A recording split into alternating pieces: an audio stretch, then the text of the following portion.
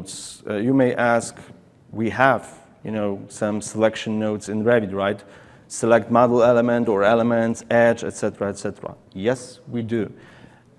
But in some use cases, I found these default, you know, nodes quite um, limited, let's say. Uh, I wanted to have a better user experience. So to give you an example, I, wanted, I had a model with so many elements in it, and I needed to precisely select something. Um, and in Revit, when you want to select something precisely, you press tab, right, to find the, the right object. And I wanted to improve the whole process of selection because it was quite annoying to, you know, to find the right element. And then if I selected, you know, the element which was not okay for me, I needed to, you know, unselect it. And it was so, you know, my automation process was time consuming, right? So it was, so I, I came up with idea, so maybe, maybe I should limit, you know, the selection.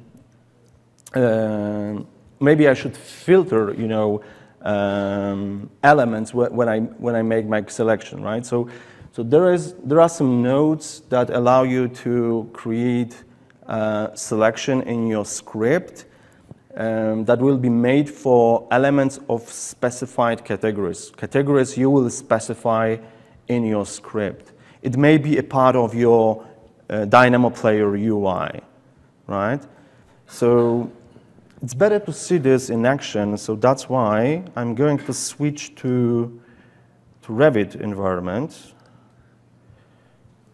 for a second to, to show you how, to, how, is, how, how easy it is to create you know, such custom selection. So let me run, run Dynamo environment.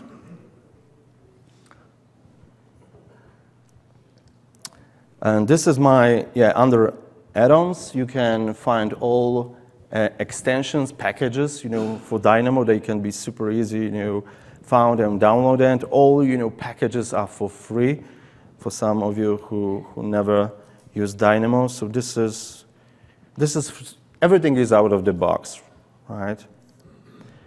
Um, so structural design, model, selection, a collection of these um, custom selections.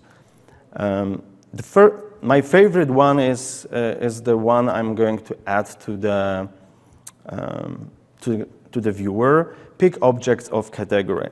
So this, this node contains five inputs, uh, but only the first one is actually mandatory. The rest of them, they have some defaults already defined.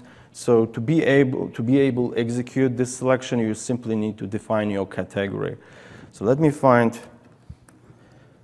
categories node um, I, I, can define my default uh, category, doors, um, and I'm not limited to only one category to make things clear. So I can, I can define as many categories I, as I want. Uh, win, let's say the second default category would be Windows. And I want to have them part of my UI uh, running this uh, selection from within Dynamo Player. So I'm going to select is input for both. And uh, yeah, let's. Uh, every time you add your inputs, you can, you can rename them.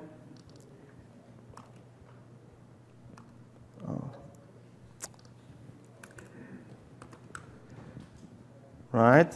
To be able, you know, connect with this selection node, I need to group them into list. So I can do it really quickly. And okay, let's switch to manual execution.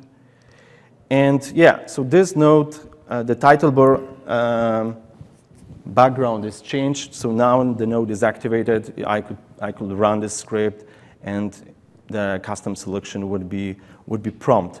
Uh, but before I do this, let me create one more extra input parameter. I will